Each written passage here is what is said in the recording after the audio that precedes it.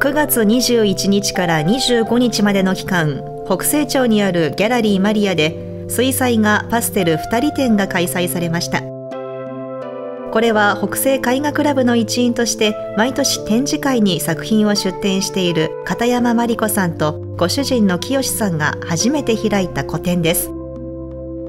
会場にはこれまでマリコさんが描きためた39点の水彩画と数年前からパステル画を楽しむようになった清さんの作品9点が並びました。趣味で絵画に親しむようになって20年のマリコさん。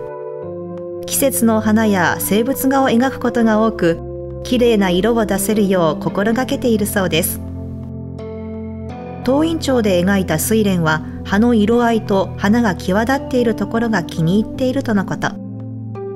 また信州の秋と題した白木曽高原の何気ない風景も思い入れのある作品です。そしてこちらは清さんが描いた表情豊かな猫。親分と題した貫禄のある作品はふてぶてしいところが可愛いという来場者の感想が聞かれました。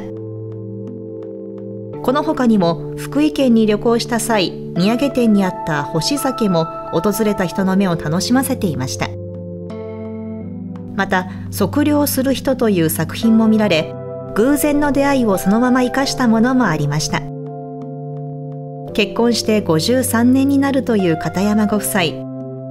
共通の趣味を楽しむようになり美術館巡りが楽しみになったそうです。